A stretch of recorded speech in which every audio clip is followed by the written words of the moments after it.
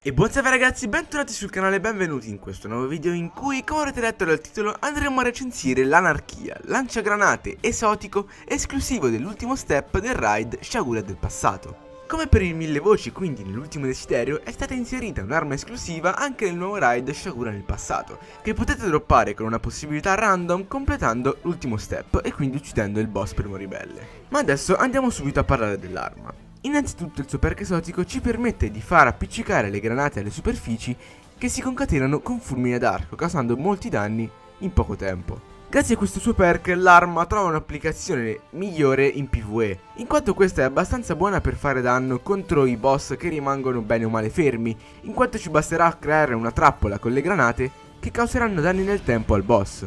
Inoltre, mentre le granate fanno danno, possiamo aumentare quest'ultimo con un pompa con canna forata o con una qualsiasi altra arma che non sia pesante, il che ci permette di fare danno con due armi diverse.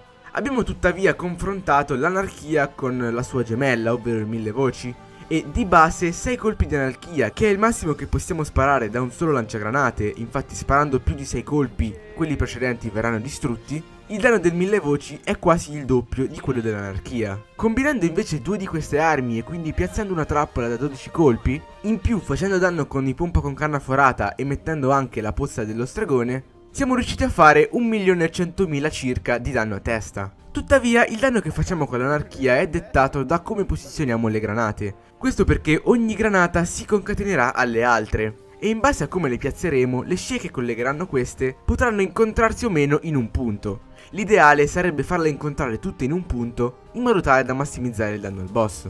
Questa diciamo che è una delle pecche di quest'arma sia per il PvP che per il PvE, dato che comunque bisogna piazzare i colpi abbastanza velocemente e il tempo per creare una forma idealmente perfetta non c'è.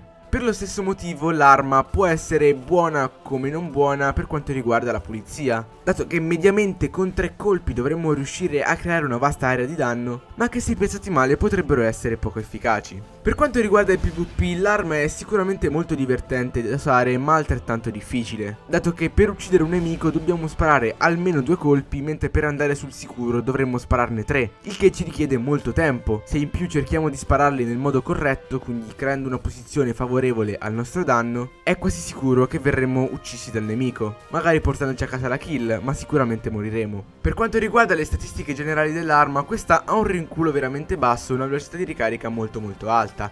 L'area di impatto è tuttavia bassa, mentre la velocità dei colpi è massima. Ha un caricatore, come ho già detto, di 6 colpi e una cadenza di 150 colpi al minuto. Inoltre, per facilitare il posizionamento delle granate, la maneggevolezza è anche molto alta. Quindi ragazzi questa era la recensione dell'anarchia lanciagranate che come ho già detto potete droppare dal boss Deshagura del passato Detto questo vi direi che se il video vi è stato utile lasciate like, commentate, condividetelo, dite tutti quelli che conoscete e che non conoscete che c'è la trallissima Seguiteci anche su Instagram, Facebook, come ogni video, vi lasciamo qua sotto in descrizione e anche del bellissimo, nuovissimo, fazzissimo sito. E detto questo ci vediamo alla prossima, ciao! Io sono Gaul. E la tua luce